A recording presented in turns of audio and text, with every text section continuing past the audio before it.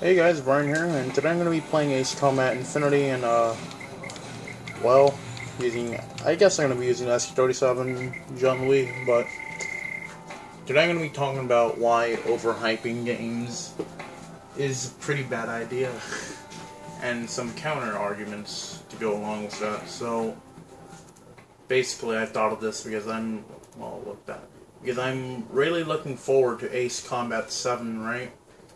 But I'm kind of scared of the game being overhyped and us being let let down by the game when it comes out. The reason I'm saying this is because an example that just came out, No Man's uh, Sky. It was overhyped to hell. Everybody thought it was going to be best game ever, open world ex, uh, ex, uh, exploration and stuff. Then when the game came out, everybody was let down, and now on Steam it's the lowest rated game of all time, with the exception of like one some other indie game. And I mean, this isn't necessarily the game's fault. You could tell that the guys uh, that made No Man's Sky they were pretty passionate about the game, but sometimes what what uh, has a part in that is fucking uh, game publishers, for example, uh, or the guys that supply the money, Sony for No Man's Sky, and you know what this what overhyping does, it pretty much makes you stoked for a game that hasn't even come out yet, and it promises features that won't be in the final build. For No Man's Sky, for example, multiplayer interaction.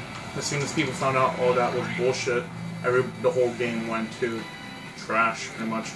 Another example that I'm going to give is uh, Battlefield 1, and how that was easily one of the biggest hype trains, other than for AAA titles at least.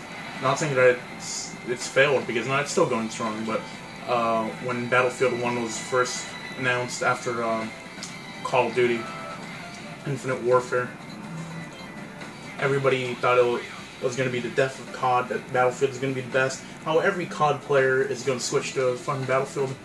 And I'm not saying it's a bad game. but It's not not by long shot. It's a pretty beautiful game. But then everybody, or a lot of people played beta and they were let down because they were like, you know what?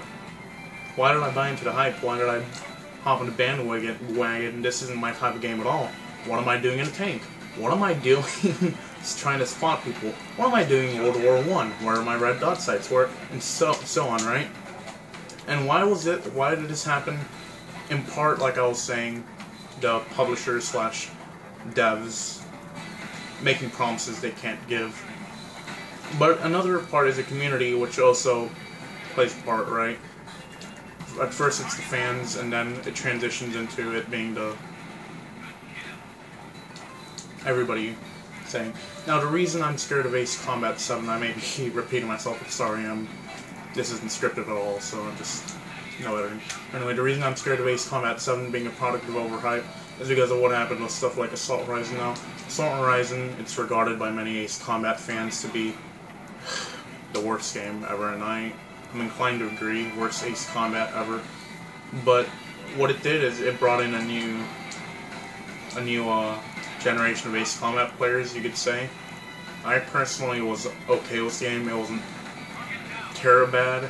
I mean, if you look at it as not being an Ace Combat game, it's pretty decent. But Ace Assault Horizon was pretty overhyped, and then it ended up doing bad critically, at least for the fans and not necessarily the best example, but what I'm saying is I don't want Ace Combat 7 to end up being. I don't want Ace Combat 7 to end up being. Oh yeah, it's a great game. Uh, sorry, I don't want Ace Combat 7 to end up being a. Oh yeah, we we here at Sony we paid big bucks for this game to be the best of VR game ever, and then it turns out, oh it's actually a pretty shitty game when the developers didn't have any time to put money into it. I mean, they didn't have any enough time to make a good game. They just got a bunch of money, were told to rush it, and then they end up with a trash game. So even though I'm kind of saddened that we haven't gotten any Ace Combat 7 news, I'm actually hoping that they're working on it hard. Because if it falls to the product of overhype with everybody saying, oh, it's going to be the game to end all games, the V2 to end all V2s, then it ends up being a trash game and I don't. I really don't want my one of my favorite franchises to end that way. Another example of overhype. uh, Deus Ex. Uh, which one was it? One was a pre-orders. well, that wasn't really overhyped, but that's just a thing. So, you know, basically, I turned this uh, video, this conversation into overhyping, and I turned it into. It's not really overhyping because that's a natural thing to do. Now that I think of it, it's more of a. It has more to do with developers. I mean, not developers, publishers screwing over the developers. So, note to the publishers, uh, EA, uh, Bandai Namco, Activision, please don't uh, ruin your game's release. If the developers they work hard, and if they tell you that they can't do it on time or they need a bit more time, give them that time because they, they these guys know what they're doing, you know. And so don't try to force them to do something they can't do. Don't make them make promises that they can't do, or else you're gonna end up doing pretty bad. That's why sometimes indie games aren't as criticized as bad because they don't make promises they can't do. For example, Time Splitters uh, Rewind, they got permission from Crytek uh, UK to make a new Time Splitters game, fan-made game. But the reason they they took it on themselves as a personal project is because that way the develop the publishers won't tell them what to do, and they won't have to make promises they can't keep. So therefore, you, by the time Time Splitters Rewind comes out, which is taking a long time, but you got to give them that time so that uh, when it comes out, it's going to be one of the best revitalizations ever. A really good game. So, well, guys, that whole argument might have come out really shitty, and I apologize for that. But I hope you enjoyed this video, and um, I was probably speaking a bunch of nonsense, but thank you guys for watching, and see you guys later. Oh, I got 30 tickets It's fuel, fuel, fuel. Oh yeah, see you guys later.